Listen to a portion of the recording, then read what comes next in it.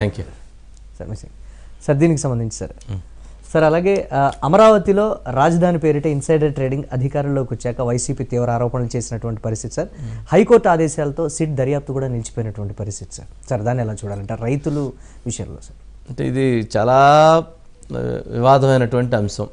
అమరావతిలో insider trading జరిగింది అనేటువంటి అభిప్రాయంతో ఆంధ్రప్రదేశ్ ప్రభుత్వం గతంలో దానిపైన ఎంక్వైరీకి ఆదేశించింది దానిపైన న్యాయస్థానానికి వెళ్ళారు. న్యాయస్థానంలో అనేక కేసులు నమోదైనాయి. కేసులు నమోదైన తర్వాత వీటికి సంబంధించినటువంటి తీర్పుని అంటే ఎక్కడా కూడా ఇది ఇన్సైడర్ ట్రేడింగ్ కాదు. కొనుగోలు అమ్మకాలకు సంబంధించినటువంటి వాటిని ఇన్సైడర్ ట్రేడింగ్ పేరుతో మీరు వీటన్నిటిని కూడా ఇది చేయటానికి వీలు లేదు అనేటువంటి ఒక ఆదేశాలను ఇచ్చింది హైకోర్టు.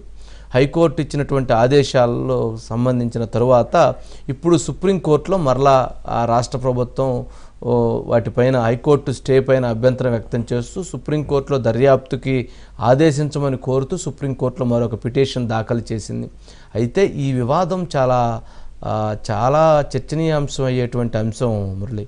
ఎందుకు అని అంటే ఇన్సైడర్ ట్రేడింగ్ విషయంలో ప్రస్తుతం ఉన్నటువంటి chief justice of India NV Ramana కుమార్తెలపైన వారిపైన అట్లాగే గతంలో అడ్వకేట్ జనరల్గా పనిచేసినటువంటి దమ్మాలపాటి శ్రీనివాస్ పైన కూడా అక్కడ గతంలో సిఐడి వీటికి సంబంధించినటువంటి ఎంక్వైరీ చేయటం కేసులు నమోదు చేయటం కూడా జరిగినటువంటి పరిస్థితి ఉంది.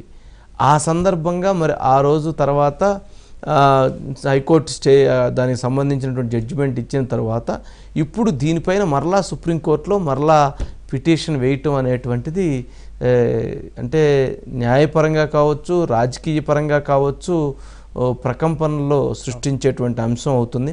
కానీ దీంట్లో అంటే న్యాయపరమైనటువంటి అంశాలు దీంట్లో చాలా ఇమిడి ఉన్నాయి. కావున చాలా జాగ్రత్తగా అంటే అంశాలను పరిశీలించాల్సి మాట్లాడాల్సినటువంటి అవసరం ఉంటుంది.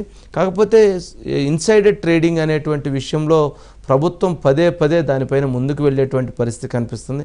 ఇన్సైడర్ ట్రేడింగ్ జరగలేదు అనేటువంటిది ఇప్పటికే అనేక సందర్భాల్లో ప్రూవ్ అయింది.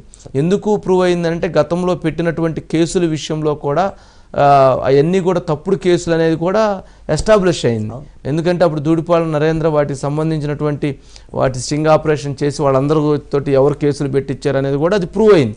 అంటే ఇది పూర్తిగా రాజకీయ పరంగా కక్షపూరితంగా అమరావతి పైన ఉన్నటువంటి కక్షపూరితంగా వ్యవహరిస్తున్నారనేటువంటి అభిప్రాయం తప్ప మరొకటి కాదు అన్నటువంటి చర్చ జరుగుతుంది. అంటే ఒక ఇన్సైడర్ ట్రేడింగ్ అంటే ఏంటి అనేటువంటి దాని అబ్రివేషన్కి సంబంధించినటువంటి అంశం కూడా వివాదం అవుతుంది. మరి సుప్రీంకోర్టులో వేసిన నేపథ్యంలో సుప్రీంకోర్టు అంటే హైకోర్టు ఇచ్చినటువంటి ఆర్డర్స్ని ఇంప్లిమెంట్ చేయమని చెప్తుందా? లేదా దాని మీద స్టే ఇచ్చి విచారణ కొనసాగించమని చెప్తుందా?